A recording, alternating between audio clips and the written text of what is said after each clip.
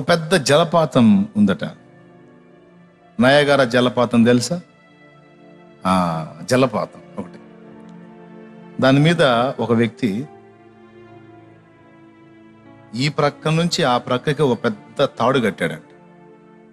తాడు. ఆ ఒడ్డుకి ఈ ఒడ్డుకి. ఆ జలపాతం మీద. తాడు కట్టి అటుప్రక్క ఊళ్ళల్లో ఇటుప్రక్క ఊళ్ళల్లో అది ప్రకటింపబడింది. తాడెందుకు కట్టాడో తెలుసా? ఆ తాడు మీద నేను జలపాతం ఆ ప్రక్క నుండి ఈ ప్రక్కకి నడుస్తా. అది ఒక అద్భుతమైన విన్యాసం చేయబోతున్నా అనేది ప్రచారం జరిగింది. ఫుల్లుగా ఆ ప్రక్కోళ్ళు ఈ ప్రక్కోళ్ళు జనాలు వచ్చారు.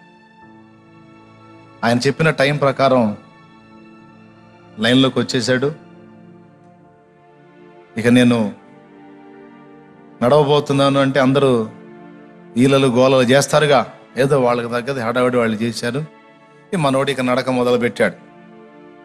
అలాగా తాడు మీద నడుచుకుంటూ నడుచుకుంటూ అడుగులు అడుగేసుకుంటూ జాగ్రత్తగా బ్యాలెన్స్గా ఏమాత్రం అడుగు జారిందా? కాళ్ళ క్రింద కొన్ని లక్షల క్యూసెక్కుల నీరు ప్రవహిస్తుంది. శవం ఏడ దొరికిందో కూడా అంతు తెలియదు. ప్రచండ వేగంతో ప్రవహిస్తుంది. దాని మీద ఇప్పుడు తాడు కట్టుకొని మనోడు నడక మొదలు పెట్టాడు కొంచెం దూరం నడిచిన తర్వాత అట్లా ఇట్లా అన్నప్పుడు పడతాడు పడతాడు. ఏం లేదు ఉత్కంఠ. నడిచేవాడు ఫ్రీగా నడుతున్నాడు. చూసేవాళ్ళు మాత్రం ఊపిరి బిగబట్టుకొని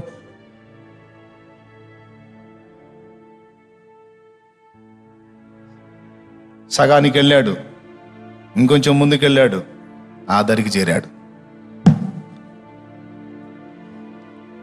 అక్కడికి పోయి ఒక ప్రకటన చేశాడు. చూశారు కదా మళ్ళీ ఈ తాడు మీద నేను ఆ ప్రక్కకి రాగలనని ఎంతమంది నమ్ముతున్నారు అన్నాడట. ఎత్తినట్టు అందరూ చేతులు ఎత్తారు. ఇక రెండో రౌండ్ ఇంకా ఫ్రీగా వచ్చేసాడు ఆ ప్రక్కకు వచ్చాడు. మళ్ళీ అడిగాడు నేను మళ్ళీ ఆ ప్రక్కకి వెళ్ళగలనని ఎంతమంది నమ్ముతున్నారు? అని అందరూ చేతులు ఎత్తారు. రైట్. నా భుజాల మీద ఒకడిని ఎక్కించుకొని కూడా నేను దీని మీద నడవగలని ఎంతమంది నమ్ముతున్నారు? అన్నాడు. నా భుజాల మీద ఒకడిని ఎక్కించుకొని కూడా నేను దీని మీద నడవగలని ఎంతమంది నమ్ముతున్నారు? అన్నాడు. అందరూ చేతులు ఎత్తారో. నీ పంతనం అర్థమైపోయింది. నడుస్తావు నువ్వు అని అందరూ చేతులు ఎత్తారు. చేతులు ఎత్తినాక అన్నాడు మీలో ఒకడు వచ్చి ఎక్కండి అన్నాడు. ప్రాణాల మీద ఆశనుడు ఎవడన్నా వస్తాడా? నమ్ముతున్నారన్నారు కదా. చేతులు ఎత్తారుగా. ఎంతమందికి నా మీద నమ్మకం ఉంది? వాళ్ళు ఎవరైనా ఒకళ్ళు వచ్చి నా భుజాల మీద ఎక్కి కూర్చోండి నేను తీసుకెళ్తా తాడు మీద అన్నాడు. ఒక్క చేయి లేవల. నేను మనిషిని ఎక్కించుకొని నడవగలను ఎంతమందికి విశ్వాసం ఉంది అన్నాడు మళ్ళా. మళ్ళీ అందరూ చేతులు ఎత్తారు. మరి ఒకడు రాండి అన్నాడు. ఇవిడు రాట్లా ఇప్పుడు వాళ్ళ విశ్వాసం సరైందేనా? చాలామంది విశ్వాసులు మనోళ్ళు కూడా అంతే ఉంటారు. రవ్వా నీకు అసాధ్యమైంది ఏముంది నాయనా? అంటారు. మళ్ళీ పాట పాడతారు. అసాధ్యమైంది ఏముందని ఆయన అంటాడు అట్లయితే నా మీద ఎక్కండి అంటాడు. అది వద్దులే ప్రభా. ఎందుకులే ప్రభా? నీకు అసాధ్యమైంది ఏమీ లేదు. కానీ నేను మాత్రం నమ్మలేను. అనేక ఎవడు రాంది? ఏమాత్రం ఆయన మీద నమ్మకం వస్తారుగా? ఓ పద్నాలుగేళ్ళ బిడ్డ బాలుడు వచ్చాడు ఎవరు లేరా? నా సామర్థ్యాన్ని నమ్మి నా భుజాల మీద ఎక్కడానికి ఎవరు రారా ఎవరు లేరా అంటే పద్నాలుగేళ్ళ బిడ్డ వచ్చాడు నేను ఎక్కుతా నీ భుజాల మీద అన్నాడు. శబాష్ రా అని వాని భుజాల మీద కూర్చోబెట్టుకుని తీసుకెళ్ళాడు. ఆ దరికి తీసుకెళ్ళాడు మళ్ళీ ఈ దరికి తీసుకొచ్చి దించాడు. అక్కడున్న పెద్దవాళ్ళు అడిగారు ఏమడిగారో తెలుసా? పెద్దవాళ్ళ మాకే గుండె జాలలేదు. అసలు నీళ్ళ దరికొచ్చి చూడటానికే పిల్లలు భయపడతారైతే. నువ్వేంట్రా బాబు? అతని మీద అంత బాగా ఎక్కి కూర్చున్నావు? భయమే లేదా నీకు?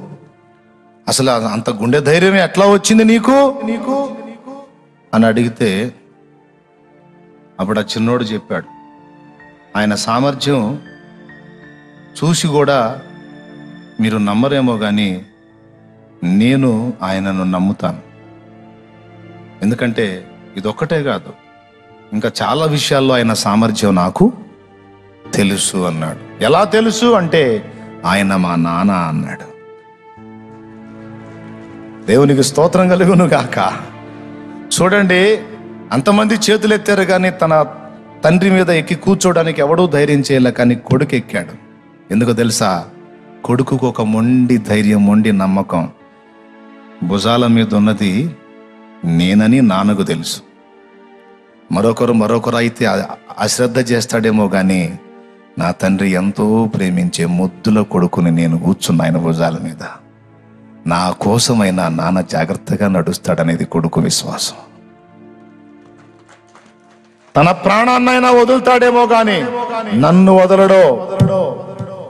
మా నాన్న నన్ను ఎంతో ప్రేమించుచున్నాడు. ప్లస్ ఆయన సామర్థ్యము కూడా నేను ఎరుగుదును గనుక నేను ఆయన భుజాల మీద కూర్చున్నా. పాయింటే ఎరిగినోడే ఎక్కగలుగుతాడు ఎరగనోడే ఏం ఎక్కుతాడు మాటలు చెప్పటం కాదు. ఎబ్బాయ్ మాటలు చెప్పటం కాదు. అందుకే చెప్తున్నాడు కాస్త తెలుసుకుండరా నా గురించి అని దేవునికి మహిమ. హల్లెలూయా. ఆయన సర్వశక్తి గల దేవుడు. అలాగ దేవుని మీద డిపెండ్ అయిన వాడే దేవుడు అనుగ్రహించే పూర్ణ శాంతి గలవానిగా మార్పు చెందుతాడు.